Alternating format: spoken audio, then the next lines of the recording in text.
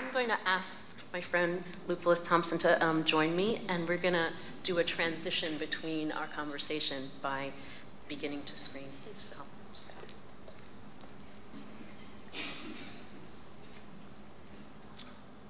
Um, I don't know, that was really something. Should we clap again? um, uh, very, very honored to be joining Tina and, and following um, that lecture, those notes, which I think we uh, will be able to slow down and, and keep trying to work through. Um, before we do that, I'm going to um, screen my um, my latest um, artwork, which was made for the Kunsthalle Basel um, last year, and then we'll kind of use this film to also further some of those some of those ideas. So um, this piece is called underscore human. So um, the way I want to start is by saying that the my entire sort of, I have to start by thanking um, Luke because the entire framework of adjacency comes from your work, um, from starting to write about autoportrait and um, thinking about what does it mean to um, make art that is not trying to speak for, but is trying to speak into the complexity of difference and different kinds of precarity. And I wanted to ask you to share with me um, what does that mean to you? Um, because it really does come from trying to understand your work, and it's given me an enormous amount um, to think about in a, norm, in, in a really sort of generative framework to think in. Um, this is really loud. you can adjust it. Okay. Uh, if I hold it there, that's right. Um, well, uh,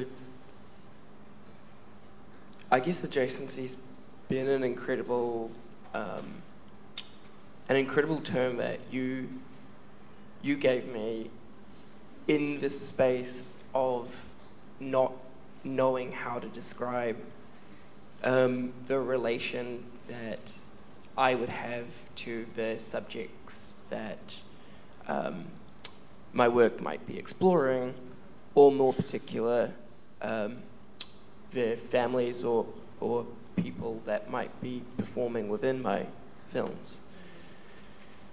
And it's a, one of the reasons why that is itself a tricky negotiation is because of all the ways those types of relationships can go so wrong, have been done so wrong. And that, that story of wrongness um, is, in a way, a it, it, it's its own history of photography. So, adjacency became, for me, a way that um, uh, you were able to describe uh, my connection uh, in a couple of sentences, to put it, put, to put it bluntly.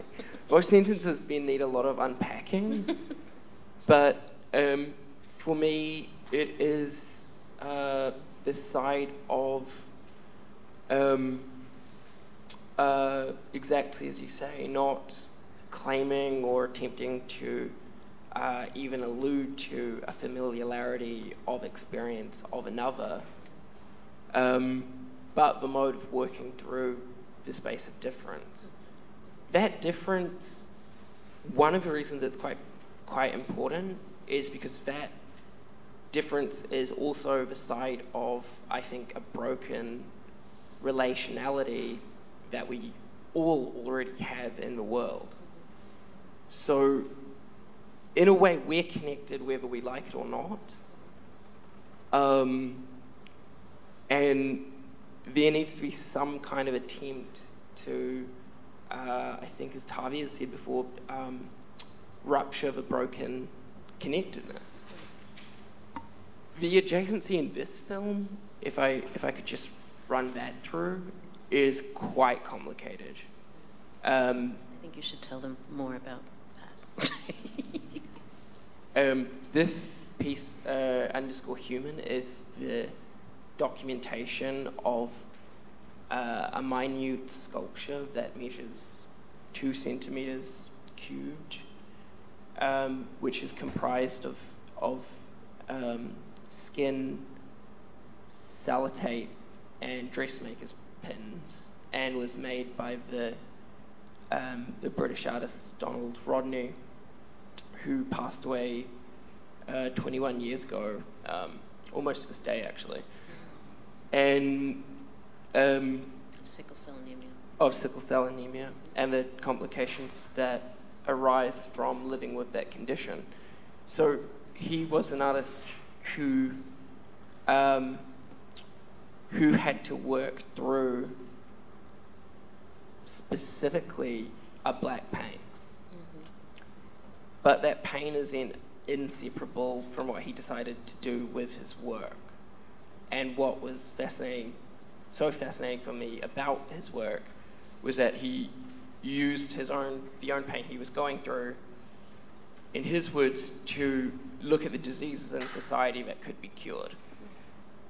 Um, uh, uh, Donald um, made a lot of self portraits as police victims, um, kind of overlaying his own portrait into the faces of people like Colin Roach and Joy Gardner. And um, that kind of state violence and anti black violence, that was the, the target of a, of a number of very precise exhibitions and installations. This piece is something made uh, while he was in hospital. Um, three months before he passed away, um, he was still working on an exhibition in the South London Gallery, and uh, he had prepared this piece. It was a kind of, I think, a long time coming sculpture. Uh, he had collected the skin that he used to kind of fashion the work for a long time, uh, as his widow had described to me, as a kind of party trick. He would he would pull it out of his pocket um, and have people unfold it, where they were kind of knocked over with what it was. Uh, but but kind of to, in that tradition of the of the great works made in hospital boards, uh, beds, you know, Matisse's snail among them.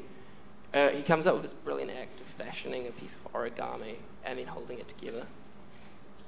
This, this piece um, is incredibly fragile and incredibly precious and um, can't, can't be uh, exhibited.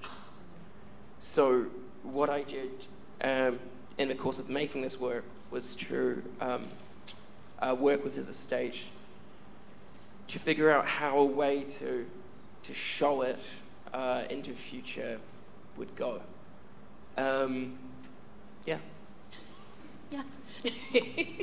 I mean, one of the things that I was thinking about is that, and we've talked about the the continuity in the last, you know, their last three pieces, I'd say, of the sister image, um, and creating a sister image that can do a certain kind of work of adjacency, which is not to um, present the violence or the precarity of the subject, right? Not to actually give us full access to that, but to demand of us that we do a certain level of work in the encounter with it. Um, and I think that one of the most profound ways that you do that is through silence. That there is this kind of um, inscrutability that you um, are able to conjure um, in placing the audience in an extended moment of silence. Um, of having then, you know, one of the things that I do in silent rooms, particularly in silent art rooms, is I listen to what people are actually, the sounds they're actually saying. they're making. And so one of the things that I was noticing in this room were fidgets, um, movements, that people, being in silence is one of the most excruciating experiences for humans. And that's when I know there's certain work that's happening, right? Even if it's the pushing away of the work, right? And so, so I'm wondering um, about that in your work, about the sort of demands of silence that your work makes on people, and how that, I mean, we've talked about the term affective labor for me, which is um, a term that I think that gets sort of short shrift. Um, but when we're talking about art and the certain kinds of affective labor that go into it, I just wanted to hear you talk out loud about that as well.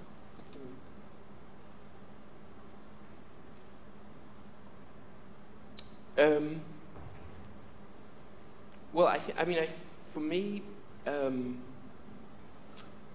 um, like silence began for me around making films um, really as a as a kind of like productive metaphor.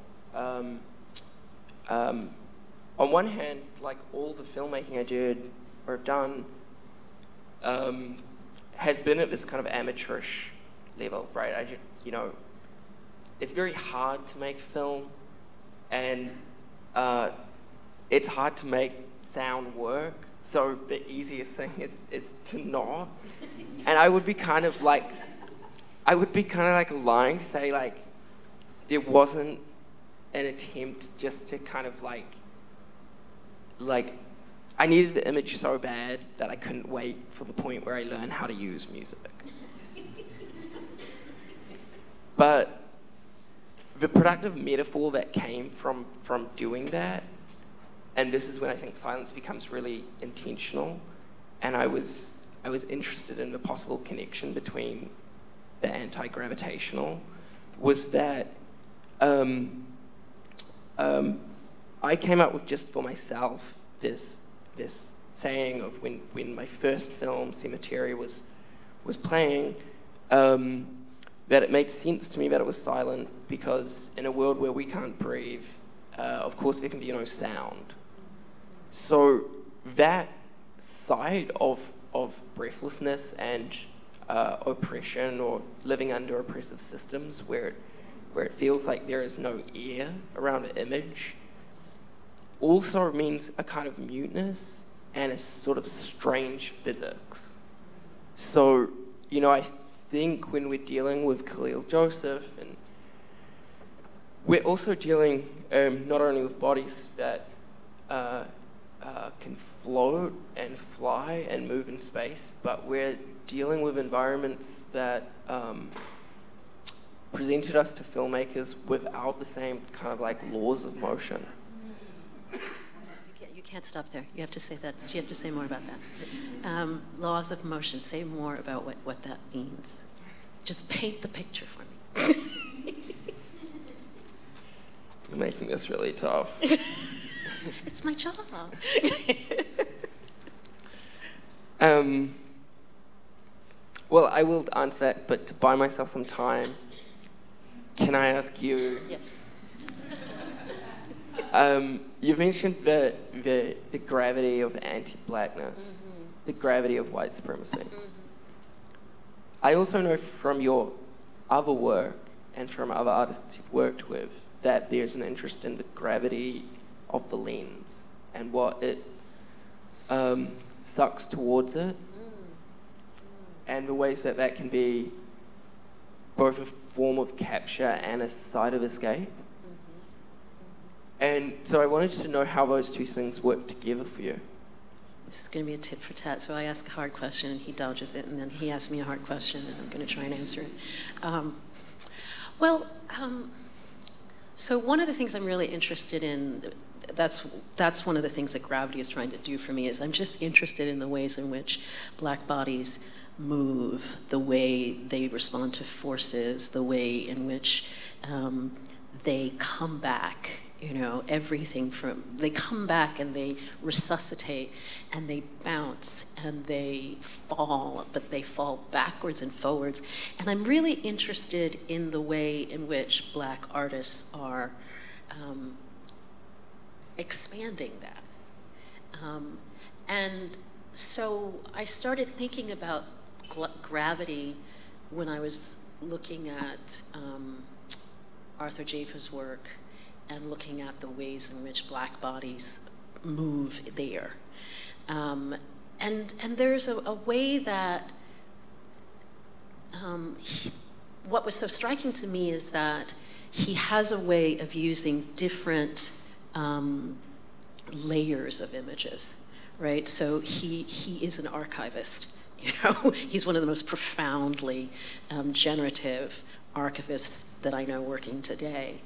And so, what he's able to do in the different ways in which he both makes images but also remakes images is he shows us what we're not seeing in those original images, right?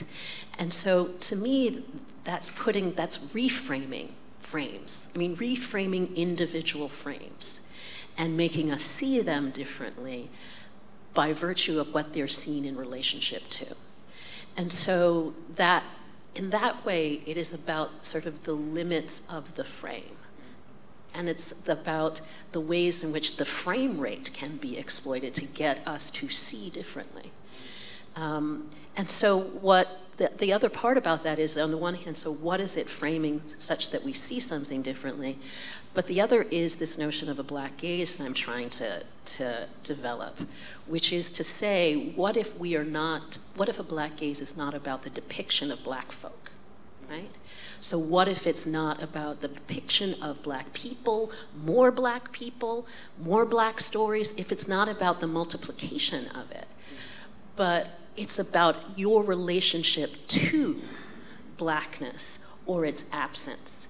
And so, what kind of work is challenging us to interrogate who we are, not, oh, learning more about black people? And that that to me is a really important um, and significant step that I am seeing right now in the world of contemporary art um, because it's not just about more folk with cameras, it's about um, being able to shift our understanding of blackness when it is and is not there. Um, and that I, that I find that um, this marvelous potential to create something new um, and to create new practices of visualization. Yeah. Oh. you're, getting, you're getting uppity back there. Um, I want to ask um, Tavia what, how we're doing on time. No, no it's not. Uh, we can go for another uh, three, four minutes, I guess. Three, four minutes? Yeah. Oh, should we open it and up we'll to take... questions? or? Yeah, maybe this is a time to. Unless you had another question. I didn't want to cut you off. Um, no, no, no, I don't. Okay. okay. I mean, I, I sort of do, but I hope they'll come out. Okay as as we keep going, yeah. I just feel like they've been really quiet for a really long time, and now we have to let them speak, let our people speak. There's a question back there. I see. Okay, I see a question in the back. Hi. Could you please explain the word adjacency? Yes. because you used it a lot, and I don't really know what it means. Okay. So that might be a sign that I was not successful in my presentation, but um, I will try and break it down for you. Adjacency, um, when you're talking about the, the root word, adjacent, that would be being next to, right? Um, adjacency, in the way in which I'm trying to talk about it, is about seeing oneself in relation to, okay? So seeing oneself in relation to and at the same time, what I just said, having that relationship to, that next to ness, have consequences, right? Has an impact on who you are. So it's not just two things side by side, but there's a relationship of difference and potentially a, a relationship of transformation and power that needs to be addressed in that next to ness. So there's an accountability about being next to, about being beside, that I think we need to actually act upon. Is that okay? Okay. I think we have maybe time for Two questions. two questions. Or not. or none. There's also an opportunity at the end. I know we're at that moment in the Afternoon. afternoon where uh, we probably should actually thank you both for the generosity of this engagement. And um, please, I would just invite the audience to give a round of applause to Tina Campt and to Luke Thompson.